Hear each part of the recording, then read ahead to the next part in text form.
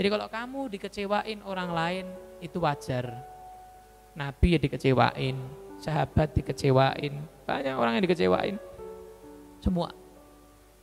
Justru itu bisa menjadi bahan introspeksi kamu.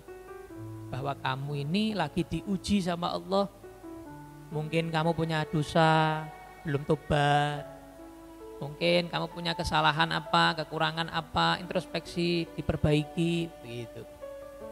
Pokoknya kunci hidup enak, nikmat, enjoy apa? Tuntut diri kamu baik sama orang lain, jangan tuntut orang lain baik sama kamu. Titik. Nggak pakai koma. Nah, itu enjoy ente hidupnya. Santai ente, nggak mikir mau dicaci, eh mau direndahkan, biasa aja. Gitu. Ditinggalkan, biasa. Dikecewain, biasa. Saya nggak nuntut dia baik sama saya. Yang penting saya baik sama dia. Gitu. Nah urusan yang mendoakan nggak usah lah. Ngapain? Toh ente nggak doa, ya dia bakal diadili sama Allah begitu loh. Toh begitu. Buat apa ini pakai doa-doa barang? Gitu. Gak usah.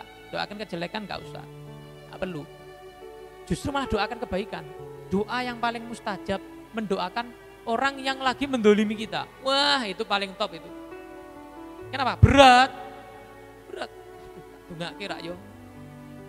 Tunggu kira yo. Engkau nek tak tunggu kira dibales. Tapi saya berharap dia dibales. Nah, berat, hatinya berat mendoakan orang itu yang mendolimi itu, yang mengecewakan kita itu. Nah di situ nilainya doa kita yang luar biasa. Mahal itu, doa begitu mahal. Mendoakan orang yang menyakiti kita, mendoakan orang yang mengecewakan kita. Masya Allah, top itu, luar biasa itu. Istimewa itu, kobul sak kobul kobule.